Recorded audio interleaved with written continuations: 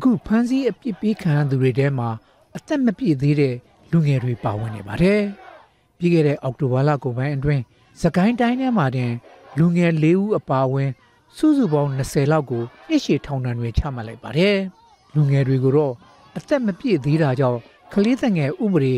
89ငါနဲ့မန္တလေးလူငယ်တင်နန်းကျောင်းမှာအသက်ပြည့်တဲ့အထိထိမ့်သိမ်းထားဖို့အမိန့်ချမှတ်လိုက်ပါတယ်။သူတို့ဘာရာဇဝတ်မှုတွေကျူးလွန်ခဲ့ကြပါသလဲ။ ဆွဆွဲထားတာကတော့လူမှုကွန်ရက်စာမျက်နှာမှာစစ်ကောင်စီကိုဝေဖန်ရေးသားတယ်။ဆန္ဒပြပွဲတွေမှာပါဝင်နေဆိုတာတွေနဲ့ပါ။သူတို့လိုအဖမ်းခံရသူ2022ခုနှစ်ဖေဖော်ဝါရီလကနေ2023ခုနှစ်စက်တင်ဘာလအထိ1316ဦးရှိပြီဖြစ်တယ်လို့ Data for မြန်မာအဖွဲ့ကအောက်တိုဘာလ10ရက်နေ့မှာထုတ်ပြန်ထားပါတယ်။အဲ့ဒီအဖမ်းခံရသူတွေထဲမှာရန်ကုန်တိုင်းက323ဦး မန္တလေးတိုင်းက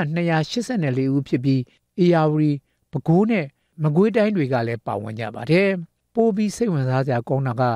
အခုဖမ်းမိသူတွေဟာလူသိများကြော်ကြားတဲ့အနုပညာနယ်ကထင်ရှားသူတွေတင်မကတမန်ကျောင်းသားနဲ့ပြည်သူတွေပါဖမ်းမိနေခြင်းဖြစ်ပါတယ်။စစ်ကောင်စီဘယ်လိုထောင်လိုင်းနည်းစနစ်တွေခင်မီ digital နည်းတွေကိုအသုံးပြုနေပါသလဲဒီကိစ္စနဲ့ပတ်သက်ပြီးစစ်တပ်မှာရှိစဉ် digital တင်နန်းတက်ရောက်ခဲ့ဘူးသူ CDN ဘူကြီးအမည်ဝှက် Captain Zero ကတော့သတင်းပေးတွေကိုသာအသုံးပြုနေခြင်းဖြစ်တယ်လို့ပြောပြပါတယ်ဟိုသတင်းပေးတဲ့လူတွေများတာပေါ့နော်စစ်ကောင်စီဘက်ကသတင်းပေးတဲ့လူတွေများနေတာစိုက်ဘာတင်းကကြတော့အဲ့လိုဟာမျိုးတွေကိုလုပ်တာမဟုတ်ဘူးပေါ့နော်စိုက်ဘာတင်းကကြတော့ဒီလိုဟိုရေချက်ရှိအုပ်စုလိုက်ဝါဒပြန်တာမျိုးကိုတွားလာအဲဒီလိုမျိုးဖမ်းဖို့ရှိဖို့စိုက်ဘာတင်းကတကယ်တော့အာမလို့ဘူးပေါ့နော်မလို့ဆိုတာခုနပြောလို့ဒီလို social media မှာတင်တာတွေကို live ဖမ်းဖို့အတွက် cyber team ကိုမသုံး cyber team ကိုဘယ်နေရာမှာသုံးလဲဆိုတော့ online နယ်မြေတွေပေါ့နော် အဲ online နယ်မြေတွေကစစ်စခန်းတွေကိုသူတို့တည်နေရတယ် location တွေပါထောက်ချင်တယ်ပါဆို cyber team ရဲ့အကူအညီကိုယူတယ်ပေါ့နော်စစ်တပ်ကပေးတဲ့ digital သင်တန်းကတော့အုပ်စုလိုက်ဝါဒဖြန့်မှုနဲ့စစ်စင်ရွေးတွေမှာသုံးဖို့အတွက်ဖြစ်တယ်လို့ဆိုပါတယ်ဒါဆိုတာမန်လူမှုကွန်ရက်အသုံးပြုသူတွေကိုဖမ်းဖို့ဘသူတွေကိုအသုံးချနေပါသလဲမဘာသာအဖွဲ့ဝင်ဟောင်းတူဖြစ်တဲ့ကိုဟင်းဝေယံပြောပြတာကတော့ရက်ကွက်နဲ့ကြေးရွာအဆင့်အထိဖွဲ့စည်းထားတဲ့မဘာသာအဖွဲ့တွေနဲ့ ကြံ့ခိုင်ဖွံ့ဖြိုးရေးပါတီဝင်တွေကတဆင့်လူမှုကွန်ရက်တွေမှာဝေဖန်ရေးသားနေသူတွေကိုရှာဖွေတယ်လို့ပြောပြပါတယ်။အဲ့ဒီဗျာအခုမှဥပမာအနေနဲ့ကျွန်တော်ပဲထားပါကျွန်တော်ကဒီလူအောက်မှာတယောက်မှဝင်မှန်းလိုက်ပြီမှန်းလိုက်ပြီဒီဟန်ရင်းတို့ပေးရနေပြီလားဒီလူဒီလူဆိုပြီးတော့အချက်လက်လှမ်းပြီးတော့ဟိုဆောင်ရှော့ယူလိုက်တယ်ဝင်ကြည့်နေရပဲလေယူလိုက်ပြီးွားပြီဆိုတာနဲ့မလုပ်လဲဆိုတော့ဒီလူဘယ်မှာရှိလဲဆိုတာကိုတို့ပါတို့ server group တွေကိုချတယ် server group ကနေမှတစ်ဆင့် ဒီအောက်ခြေမှာရှိတဲ့မဘာသာတွေတို့ဒီကြံ့ခိုင်ရေးပါတီဝင်တွေတို့ဒီရက်ွက်ထဲမှာရှိတဲ့ကောင်တွေရဲ့ဟာကိုပြန်ပြီးတော့ပြန့်သွားပြန့်သွားတဲ့အချိန်မှာဟာကျွန်တော်ရက်ွက်တရကောင်ကမဘာသာတကောင်ရှိနေမယ်ကျွန်တော်တွေ့သွားတယ်ဟာဒီလူဒီလူကကျွန်တော်ရက်ွက်ထဲမှာနေတာအဲ့တော့အိမ်နံပါတ်သွင်းနံပါတ်ဘယ်လောက်သူကလမ်းဘယ်လမ်းမှာနေဘယ်စီးပွားရေးလုပ်တာဆိုတဲ့အချက်လက်ကအစအတိအကျရသွားပြီးတော့အဲ့ဒီမှာဟန်နင်းကပြန်တင်တယ်ဖမ်းဖို့တက်တယ်ဒီကိစ္စနဲ့ပတ်သက်ပြီးမင်းမြတ်နိုင်မှုအတွက်ကြန့်ကင်ဖွံ့ဖြိုးရေးပါတီပြောရေးဆိုခွင့်ရှိသူဦးလှသိန်းနဲ့ဒေါ်သိငီဝင်းရွှေတို့ကိုဆက်သွယ်ခဲ့ပေမဲ့ ဖုန်းလက်ခံဖြေဆိုတာမရှိပါဘူးအခုလိုဖမ်းဆီးမှုတွေနဲ့ပတ်သက်ပြီးပြည်သူ့လွှတ်တော်ကိုစားပြုကော်မတီ CRPH ပြောရေးဆိုခွင့်ရှိသူဦးစီသူမောင်ကတော့စေအုပ်ချုပ်မှုအောက်မှာဘာလွတ်လပ်ခွင့်မှမရှိဘူးလို့ပြောပါတယ်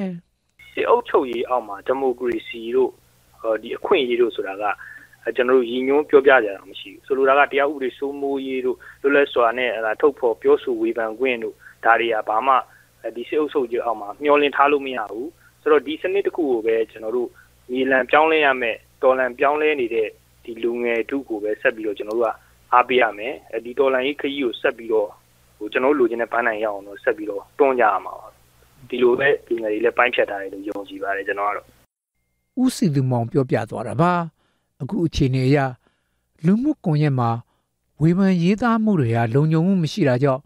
လူငယ်တွေအနေနဲ့ မိမိအမည်ရင်းအကောင့်တွေကိုအသုံးပြီးရေးသားတာကိုရှောင်ရှားတင်တယ်လို့ Captain Zero ကပြောပါတယ်ဒီ online post တွေလူကြားတဲ့ကိုပြန့်အောင်လူတွေမြင်အောင်ဟို like လုပ်မယ် share မယ် comment ရေးမယ်ပေါ့နော်ဒီလိုဟာမျိုးတွေကိုဟို account ဆက်နဲ့လုပ်တာမလုံးကြုံဒါကြောင့်မလို့ dollar ရေးအတွက်တသက်တည်တံ့ဖွင့်ထားတဲ့အကောင့်လေးနဲ့ပဲဒီလို like လုပ်ပြီးပါ comment ရေးပါ share ကြပါဆိုပြီးတော့အဲ့လိုဒါကျွန်တော်တို့ဟိုခဏခဏလည်းပြောခဲ့တယ်ပေါ့နော်2022ခုနှစ်မေဇွန်ဇူလိုင်ဩဂုတ်လတွေမှာလစဉ်လူတရာကျော်အ ဖမ်းဆီးခံရပြီး၄လပေါင်းလူ900ဖမ်းခံခဲ့ရပါတယ်။လူမှုကွန်ရက်တွေမှာရေးသားမှုတွေနဲ့ပြောဆိုဆက်သွယ်မှုတွေကြောင့်အဖမ်းခံသူအရေအတွက်ဟာလစဉ်ဖြန်းမြ65ဦးခန့်ရှိတယ်လို့ Data for မြန်မာပြုစုထားတဲ့မှတ်တမ်းတွေမှာဖော်ပြထားပါတယ်ခင်ဗျာ